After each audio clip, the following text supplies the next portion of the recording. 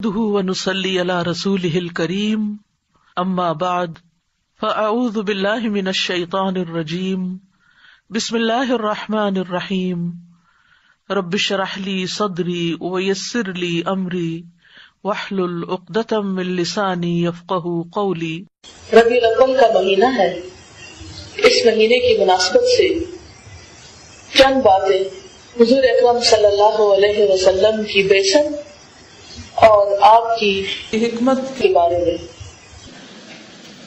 अल्लाह सुबहान तआला ने हमें पैदा किया। अपनी इबादत के लिए पैदा किया। और अपनी इबादत के तरीके सिखाने के लिए हर दौर में पैगंबर भेजे। जिनमें से सबसे आखिरी पैगंबर मोहम्मद रसूलुल्लाह है। हम सब आप पर ईमान रखते हैं। आपसे मोहब्बत करते हैं। आपको अपने वालदेन, अपनी औलाद और दुनिया के तमाम इंसानों से ज़्यादा अज़ीज़ जानते हैं। आप हमारे लिए वो हस्ती हैं, जिन्हें हम अपनी जान से भी ज़्यादा प्यारा रखते हैं, जिनकी खातिर हम जान भी कुर्बान कर सकते हैं। अल्लाह के रसूल सल्लल्लाहु अलैहि वसल्लम न सिर्फ़ ये कि हमारे हबीब हैं हमारे महबूब हैं, बल्कि वो अल्लाह के भी महबूब हैं।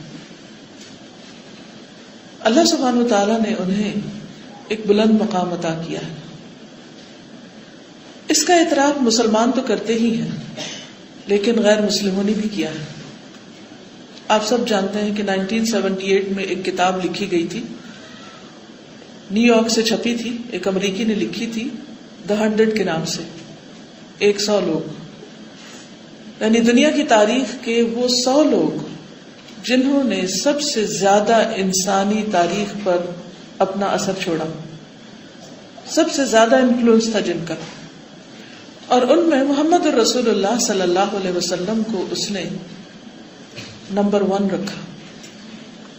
न्यूटन को नहीं रखा, ईसा सलाम को नहीं रखा, किसी और साइंटिस्ट को नहीं रखा, बल्कि मोहम्मद रसूलुल्लाह सल्लल्लाहु अलैहि वसल्लम को रखा। और कहा कि आप दीनी और दुनियावी दोनों एतबार से दुनिया के कामयाब तरीन इंसानों में से नंबर वन है। सिर्फ़ दीनी एतबार से नहीं, सिर्फ़ रिलीजियसली नहीं, बल्कि दुनियावी मैटर्स में भी। और उसमें आप देखिए कि अगर हमें कामयाबी चाहिए, और कामयाबी का लफ्ज ऐसा है जिससे सब मोहब्बत रखते हैं और हम सब कामयाब होना चाहते हैं। और किसी भी मौके पर नाकाम नहीं होना चाहते। तो कामयाबी का ये मैार जो अल्लाह सुबहान तला ने हमारी दीन और दुनिया दोनों के लिए नबी सल्लल्लाहु अलैहि वसल्लम की शक्ल में हमारे सामने रखा, उनके बारे में न जानना किसी के साथ नहीं, सिर्फ़ अपने साथ जाती अपने ऊपर जुल्म। क्योंकि एक तरफ़ हम कामयाब होने और दुनिया में मकाम हासिल करने और आखिरत में कामयाब होने की तो रखते हैं, उसकी, हम सबको इसकी बहुत शदीद ख्वाहिश है। और दूसरी तरफ़, कामयाबी का जो असल मैार है, जो दुनियावी एतबार से भी और आखिरत के एतबार से भी कामयाब है, उनकी ज़िंदगी को हम जाने ही ना। या सिर्फ़ सरसरी तौर पर अपने सिलेबस की किताबों में या कहीं किसी लेक्चर की शक्ल में कुछ जानकर अगर हम ये समझें कि हमने जानने का हक अदा कर दिया है तो ये दुरुस्त ना होगा एक अंग्रेज़ मार्रे है कारलाइल। उसने नबी सल्लल्लाहु अलैहि वसल्लम को नबियों का हीरो करार दिया यानी तमाम इंसानों में तो आप अफसल हैं ही। और दुनिया के कामयाब तरीन इंसानों में भी सबसे टॉप पर हैं। लेकिन जो अंबिया हैं, इंसानों की हिदायत के लिए दुनिया में आते रहे, वो उनमें से भी उनको टॉप पर करार देता है।